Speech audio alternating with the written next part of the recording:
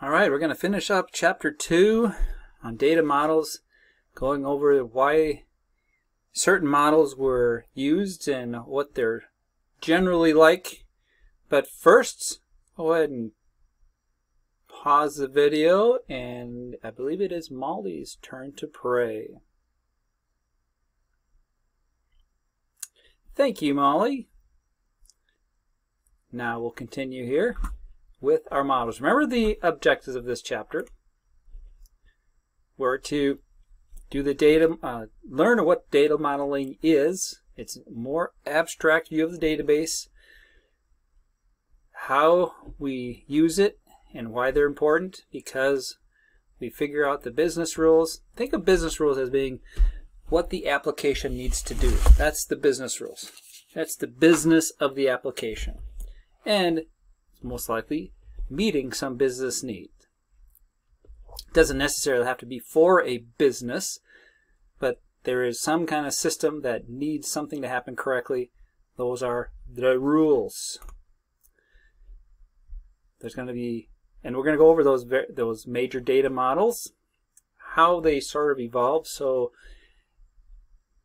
over the years since the 1960s, according to the table on table in table 2.1, these models have been evolving.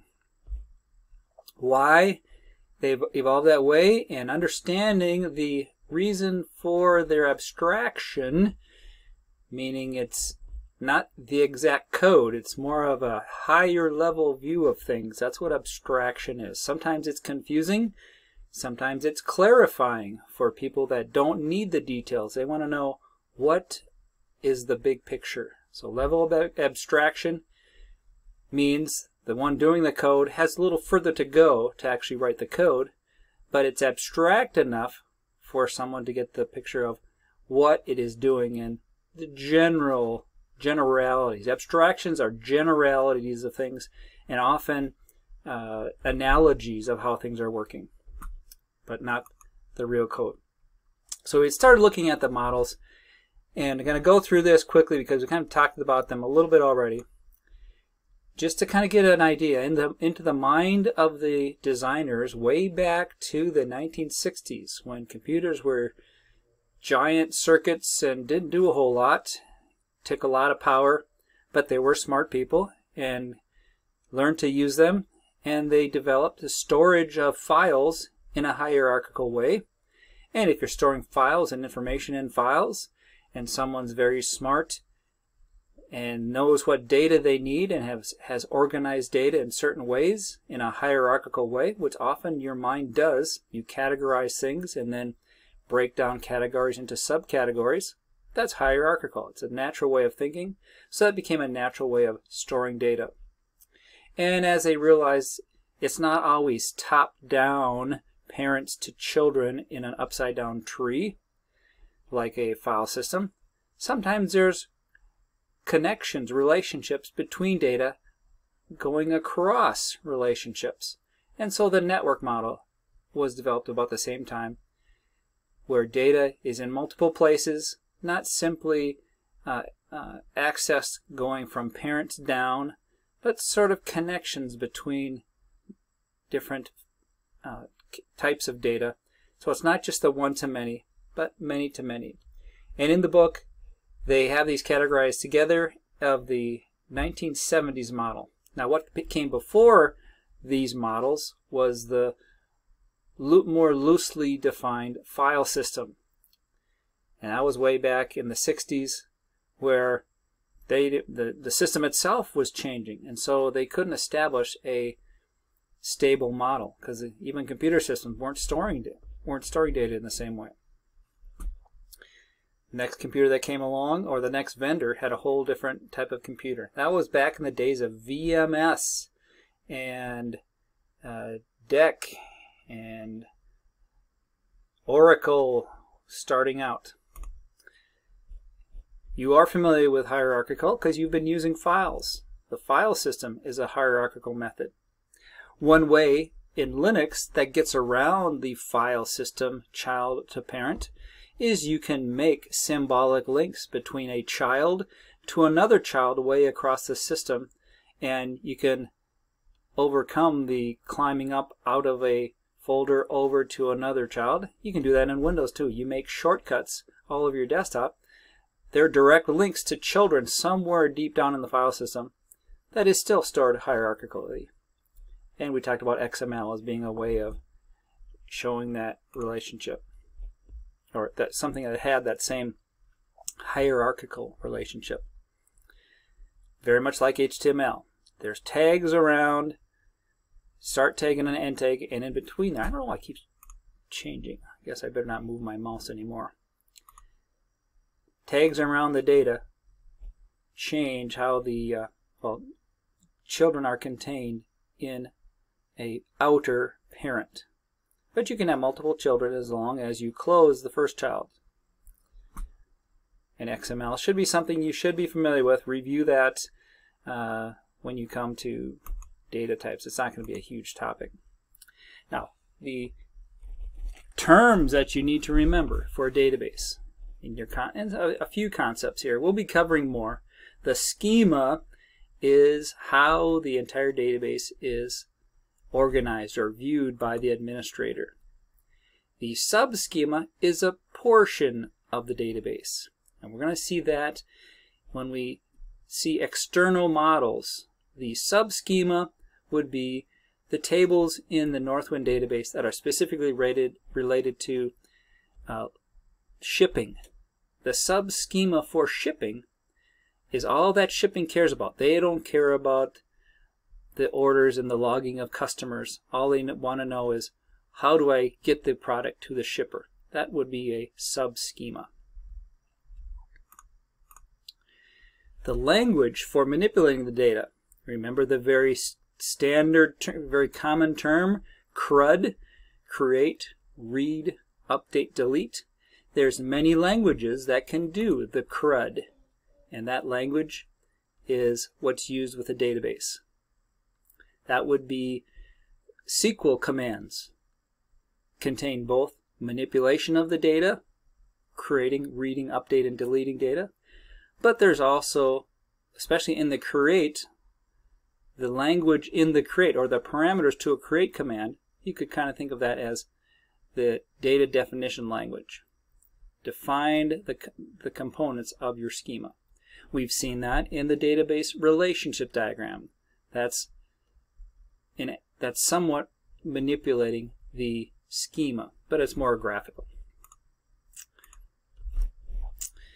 Remember, as you get more abstract, which the relational database was more abstract from the hierarchical, you begin approaching the point where you can specify what must be done without specifying how. And if you think about what we're doing in system analysis, that's a big part of system analysis. In the analysis side and the planning side, you're specifying what must be done. And then in the design and implementation, you start figuring out the details of how it's done. But the big picture is what must be done. The higher abstraction language, and SQL allows us to do that. Example of the schema and the uh, data design, remember the terms that there are entities. Those are the names of our tables. The table specifies what entities are contained within that table. There's an agent entity, there's a customer entity. Inside those tables are columns which are attributes of the records in that entity. Each record in the agent entity contains multiple attributes. Okay? Each record is an instance of that entity with those attributes. So a record is an instance. And we're looking at instance 502. Oh, the arrow somehow moved a little bit. Instance 502. And down there we have instance 10013 of a customer entity. Records are instances entities are the table names. And it's best it's most it's common practice to use singular version for the tables. You have an agent table. Of course, it contains multiple instances of agents, so you'd be tempted to, to label the table agents plural. But it's common practice to use the singular and you'll be happier. Access and SQL will be happier. Okay, so the relational model then came after the hierarchical network model. And this is where the revolution came in, that you introduced uh, the er, entity relationship modeling and just putting those models together help to describe the system and approach a more stable design or, or, or more quickly reach the stable design. So you've got automatic transition versus the standard transmission, an improvement. And you had this idea of a data manipulation in the language. Think of the SQL commands are those data manipulation constructs. And we had the tuples are those roles of multiple instances of entities. The attribute or the field names were the columns in the table. Standard terminology. And the RDMS, RDBMS, the Relational Database Management System, is the software that handled all that. Multiple companies that were dealing with relational database, DB2, Oracle, Microsoft SQL Server came in in the 70s, and MySQL came in about the same time in the 70s, supporting this relational model. All right, so as time went by, we had more models. There's your relationships.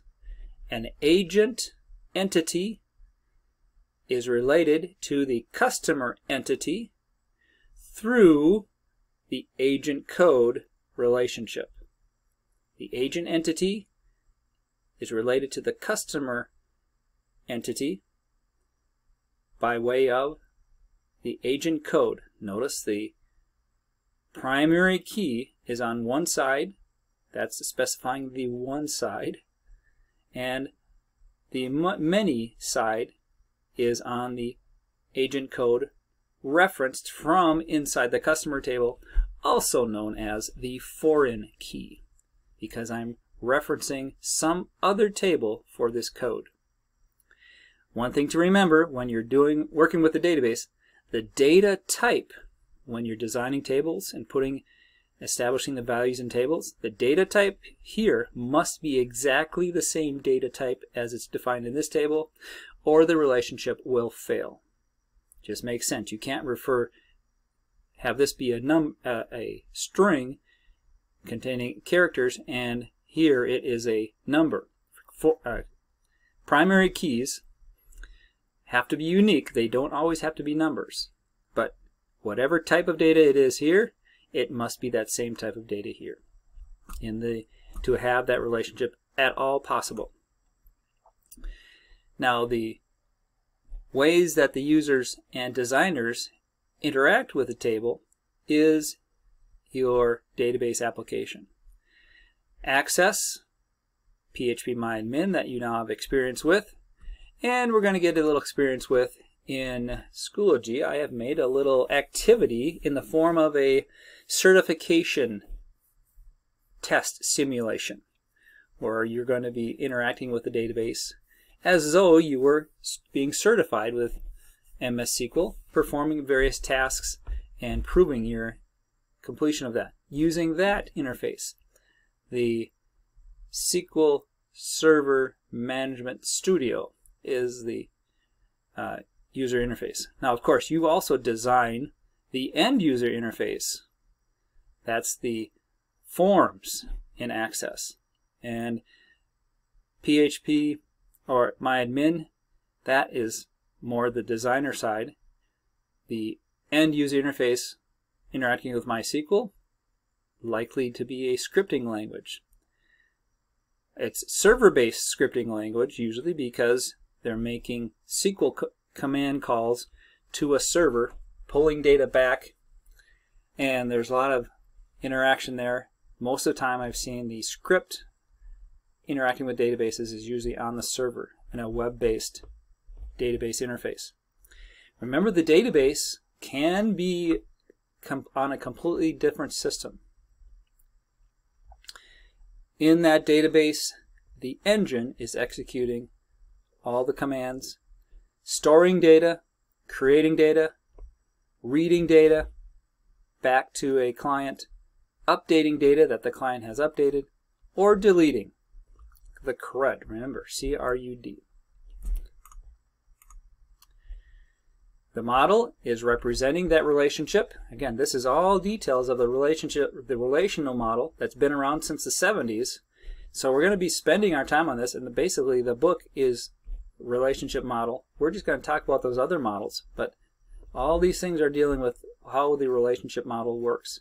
That diagram you've seen, even without knowing all the other details of the system, just manipulating that relationship diagram helped you understand how the Northwind database works.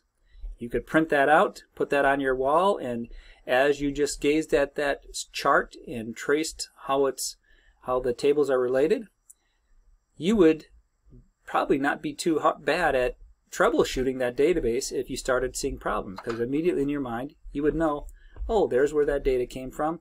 And if you make a change here, here it's going to affect these other tables. So they allow the representation of the database. And remember that instance or entity occurrence, I call them rows in Access. The types of relationship, that's what we call connectivity. It's the what kind of relationship is it? As we go into the details, we'll see that. For example, if I change the customer ID in one table, does it automatically get changed in all the children? If I'm doing a query, do I want to see only the data that has a matching customer ID, say an order, or a product that has a matching representative or latest customer? Or do I want to see all the all the uh, product information, regardless of whether a customer has ordered it? That's another thing dealing with the relationship type. Now in the diagramming of these types, remember there's multiple kinds of, look, of notations and we'll be, I'll be mainly using this one because I think this is, uh, well, it's partly some of the software we use has this right there. This is a little harder to see and diagram. This little few, few, too many shapes uh, and it's kind of a pain to draw. This is a little easier to draw in the drawing tools we have. Visio probably can do any of those, uh, but we don't have Visio as available as it used to be. I've been using Lucidchart, pretty happy with that for making those kind of diagrams. And you can uh, use it, you can do it in PowerPoint too, have a little templates. Then the next model that came out, we're calling this the fourth generation, came about in the mid 1980s, the object-oriented relationship model. And the examples of this given in the book were Versant, Objectivity DB, DB2, and Oracle 11G. Now, the object model, as I did some more reading out there about it, knowing the object-oriented approach is I have objects that represent that hold my data. And I'm not only holding the data about a customer, but I'm also containing the operations that are performed on that customer. Uh, saving, changing, uh, performing the updated invoice with that customer.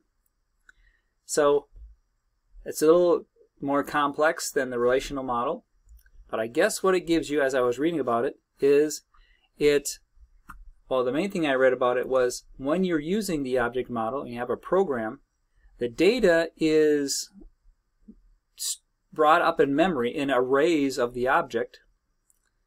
And generally, one advantage of object-oriented is they run faster because they're pulling all the data into objects in memory. Sounds to me could be kind of inefficient, but that's one advantage or one uh, attribute of the object-oriented database. in the table on 2.1, it mentions that the star schema support for data warehousing, web databases become common. So as the web and the programs to interact with websites became more complex or needed maybe a closer uh, cache of the data, you could cache it in memory as a huge array of objects and perhaps uh, work better. And remember, the object-oriented view of the world makes perhaps some applications a little better to uh, visualize and to program a little different type of abstraction in the object-oriented world. So even though it's sort of a advance in some speed and complexity, relational was still around. And object-oriented, uh, I have not run across any. They say uh, DB2. I haven't used DB2 or Oracle 11g. I've been a MySQL uh, and Microsoft SQL guy. Uh, played a little bit with Postgres, which looks very much like SQL. The relational has stuck around. So remember with, with objects, you have classes of types of objects. So in your application, if we're describing an application and classes keep coming up of object, you might say, you know, the way we're thinking about it in our design, if it's if the way we're thinking about it is object oriented, maybe we'll better understand it and program it better if we use an object oriented collection or uh, model for the data. And when you're doing object oriented, the UML modeling language has a whole set of diagramming for object oriented systems and perhaps that would help the designers better understand the system and lend itself to object-oriented design of my database. That's up to the designers. So it still have the rows and columns in uh, a normal database. And I took this from a article out there. Here is that mention of permanent persistence to object is common to object-oriented or object databases, meaning they stay in memory rather than going back to disk, stay in fast access memory, so typically fast response. But because they're more complex and they're not as common, you don't have as many programmers available, and thus people can't afford or can't find the programmers for object-oriented databases. So there's the three models, kind of a view of it, again, an abstraction of it, where we have entity relationship model, a similar class diagram in UML language, and it also works with objects. And with object representation, we have that invoice and the customer and line are subclasses or objects within the invoice object. And I'm not sure what this diagram represents exactly, but everything encapsulated in an object called an invoice. Here we have an invoice related to customer and line tables outside of the invoice table. And of course, you could spend a lot of time comparing object-oriented. There again, it's hard to find object developers. There's not that many databases supporting it with language, language that support that. And SQL has become standard. Remember that came first and huge databases and a, a base of many applications. Why, why learn something new if that's doing the job? Unless this fails miserably at some thing that object does, we're going to stick with what's been working.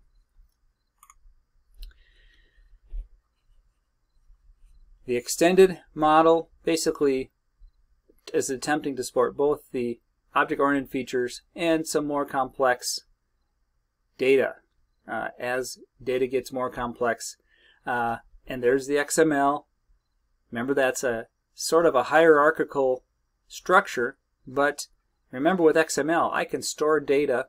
All I have to come up with a tag for it, and I can store it without having a specific schema for my table. I can just throw data in. Oh, they've they've given a, they've uh, they've commented. I put comment. Here's what they said slash comment for the end tag. Oh, here comes a measurement I made. Data tag. Enter the numbers for the measurement or for the numbers that we just read from the stock ticker. Close that tag. Oh, then image just came in. Save it as an image. Unstructured data coming in and I can exchange it with anyone else because anyone can read XML. It's the become a standard format. Now, as we before we get to our model, they bring up the idea of big data and why that all works. And I do have a, a link to the big data video and I will give a link to that and maybe let you watch that as part of this. I'll let you choose if you want to watch the big data video. Now is not a bad time. I'm going to stop and find that and I'll post the link here. Oh, I see I did have the link there. I had I was too far ahead of myself. The next slide here has a big data video when we get to here. But let's see what we had before that. We have the reason for big data is We've got huge amounts of data being generated. Sensors, the Internet of Things, how many times you've opened your refrigerator or your toaster.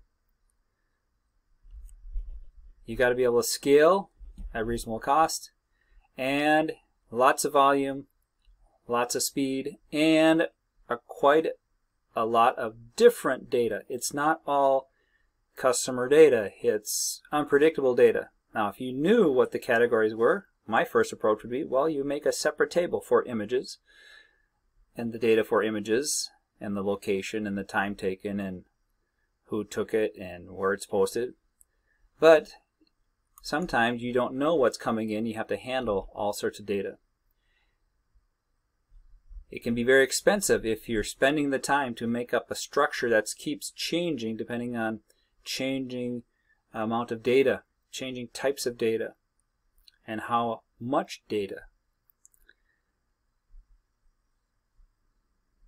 The OLAP tools, okay, OLAP, of course you must remember this, online analytical processing tools.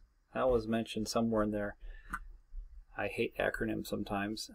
Online analytical processing tools need to process the data and if it's unstructured, how can you process unstructured data? How do you even interpret the data? That was a problem. Some of the big names, again, to be familiar with in an interview uh, would include these names. These aren't the only names. If you just look up big data, you'll find others. But Hadoop is big, and I think Amazon Web Services may provide something. Since we're at the about the 30 minute mark here, and this is about a 12 minute video. I'm going to stop here and let you watch this video. Just click on that link, it'll take you to that video. After that video is over, you can stop and take a look at the challenge there in the activities. I'm going to bring that up here on the screen the in the assignments folder